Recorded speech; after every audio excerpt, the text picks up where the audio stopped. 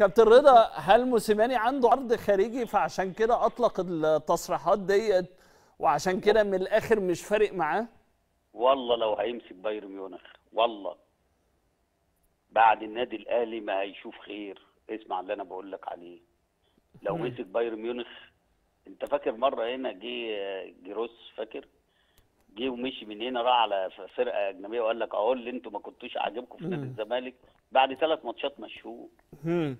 الناس دي ما بتهرجش ده آه. بقى ده بص هيخرج من النادي الأهلي ممكن يمسك باسم النادي الأهلي إن. كان ماسك النادي الأهلي. مش إن جاب بطولات لا إن كان ماسك النادي الأهلي مم. وهيشوفوا أول خمس ماتشات هيقولوا له يلا يابا مع السلامة. يلا مع السلامة اسمع الكلام ده هو عايش في ميغا يعني وعشان كده الدلع اللي اتدلعه ده هو سببه التصريحات اللي بيعملها دلوقتي إنما لو كان من الأول خد على دماغه ما كانش هيقول التصريحات دي. ده ده مشكلته إنه ما يعرفش ان ماسك أكبر نادي في أفريقيا. هل في آه، سر خفي يخلي موسيماني آه، يقول التصريحات ديت في التوقيت ده؟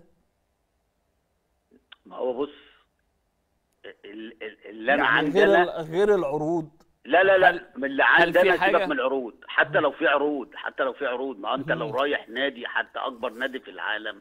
وقلت التصريحات دي أنا كنادي اللي أنا هجيبك هقلق منك لأنك أنت أصلا شكلك مالكش أمان. أنت بمجرد لما بيترمي عليك شوية ضغط بتطلع وتقول اللي ما بيتقالش واخد. بالك إنما ده اللي أنا بقوله لك ده فلس ده. فلس فني هو مش عارف يلم نفسه تاني قدام جماهير النادي الأهلي. هيعمل إيه بقى في الدوري؟ هو عايز يعني زي ما أنت بتقول كده ينط من المركب. ينط طيب. من المركب عشان مين يفضل كل مين المدرب ال- مين المدرب الأجنبي اللي أصلح في ال- بالنسبة للنادي الأهلي خلال الفترة اللي جاية؟ لا هم دي مجلس إدارة مع لجنة التخطيط وهيقعدوا وهيشوفوا. وأكيد على فكرة ده الكلام دوت من قبل ما يجددوا له وهم كان قدامهم ثلاث أربع مدربين. يعني الموضوع مش ان ان النهارده مثلا هيدوروا على لا ده هم معاهم كذا سي في في إيديهم وتحت إيديهم وتحت نظرهم وهم بيدرسوا واخد بالك؟ وعارفين مين اللي هيجي ومين اللي يقود الفترة اللي جاية أو مين اللي بعده أو مين اللي بعد يعني حاطين واحد واثنين وثلاثه أنت بتتكلم في منظومة طيب. يعني هتلاقي.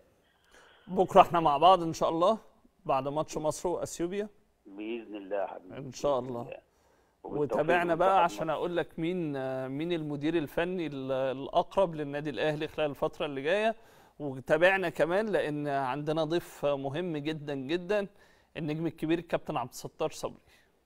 آه سلملنا عليه حبيبي. هو أنت أحرف ولا عبد الستار صبري يا كابتن رضا؟ يا ابني إحنا قلنا عبد الستار صبري أحرف واحد جه في مصر. ده والله. آه والله. يعني أحرف من رضا عبد العال أحرف عبد اللطيف وحازم أحرف من وحازم إمام وأبو تريكة وكل الناس دي. هي مشكلته بس انه ما لعبش أهلي وزمالك. بس. بس. إنما لو لعب أهلي وزمالك ما كانش هيبقى حاله كده. كابتن رضا عبد العال النجم الكبير طبعا ونجم الزمالك والأهلي والكرة المصرية ومحلل بريمو آه، بشكرك معلقا على أزمة موسيماني. مع النادي الأهلي واللي كان أول واحد فجرها آه، كان رضا عبد العال. آه، طوال الفترة ال- اللي فاتت وكان بيؤكد وكان مصر ومتمسك آه، برايه بأن موسيماني لا